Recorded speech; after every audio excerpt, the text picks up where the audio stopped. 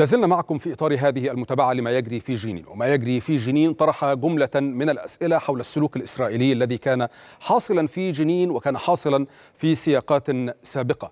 فلسفة التهجير القسري التي دأبت عليها حكومات إسرائيلية متتالية. لكن الاتجاهات الرئيسية كانت قد أظهرت أن حكومة رئيس الوزراء الإسرائيلي بنيامين نتنياهو تعمد نحو تكريس لسياسات الفصل العنصري التي تستهدف الشعب الفلسطيني وحقوقه التاريخية والسماح بسيطرة أقصى اليمين الديني المتطرف على صناعة القرار الأمني تجاه الفلسطينيين مع تحويل عقيدة اليمين المتطرف إلى سياسات فعلية ضد الشعب الفلسطيني.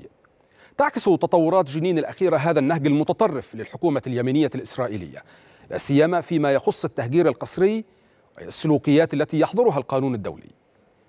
تشكل سياسة الفصل العنصري والتهجير القسري واحدة من السياسات الإسرائيلية المتجذرة منذ نشأة دولة الاحتلال في عام النكبة 48 تشير الأرقام الأممية إلى إزالة سلطات الاحتلال الإسرائيلي قرابة 500 قرية وبلدة فلسطينية من الوجود بالكلية عام 48 كما قدر عدد المنازل التي هدمت من جانب قوات الاحتلال منذ ذلك الحين بنحو 170 ألف منزل فلسطيني.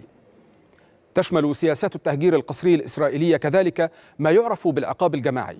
ويعني أن تعاقب سلطات الاحتلال عائلة المناضل الفلسطيني عبر هدم منزله ويتعدى قرار الهدم في بعض الحالات إلى فرض حظر على أي بناء جديد في موقع المنزل المهدوم مع مصادرة الأراضي في بعض الحالات الأخرى. منذ عام 2004 وحتى عام 2022 هدمت سلطات الاحتلال الإسرائيلي 269 منزلا كإجراء عقابي ما أدى إلى تشريد نحو 1300 شخص من بينهم 161 قاصرا. تسببت سياسات التهجير القسري للاحتلال في وضع مأساوي لأبناء الشعب الفلسطيني وللاجئيه فطبقا لإحصاءات الجهاز المركزي في فلسطين فقد بلغ عدد اللاجئين لدى الأونروا أكثر من 6 ملايين و400 ألف لاجئ. هذا مع تضاعف أعداد الفلسطينيين نحو عشر مرات بعد 74 عاما من النكبة.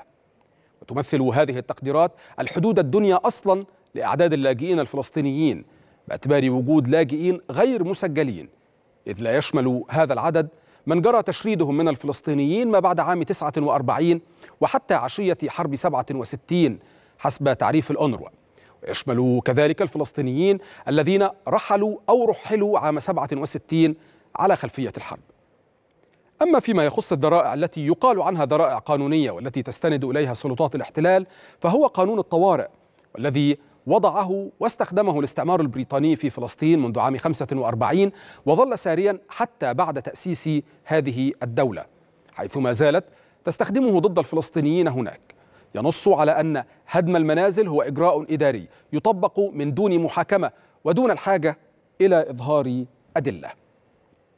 تعتبر السلطات الفلسطينية أن التهجير القسري الإسرائيلي يرقى لأن يكون جريمة حرب كما أنه يستدعي تدخلا دوليا.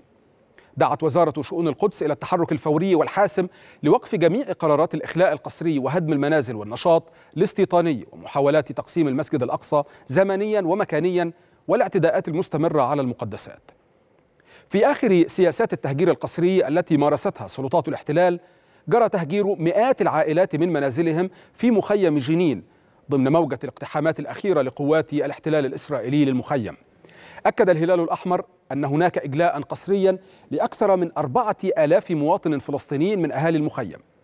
فيما طالب الرئيس الفلسطيني محمود عباس الأمم المتحدة والمجتمع الدولي بالتدخل الفوري لإلزام إسرائيل بوقف تهجير أهالي مخيم جنين لا سيما بعدما أعلن رئيس الوزراء الإسرائيلي بنيامين نتنياهو وقبل أسبوع أمام لجنة الخارجية والأمن بالكنيست أنه يتعين العمل على اجتثاث فكرة إقامة الدولة الفلسطينية وقطع الطريق على تطلعات الشعب الفلسطيني لإقامة دولة مستقلة لهم حسب وصفه ما يشير إلى منهجية في سياسات التهجير القسري لدى هذه الحكومة لتشكل واحدة من بين أبرز سماتها.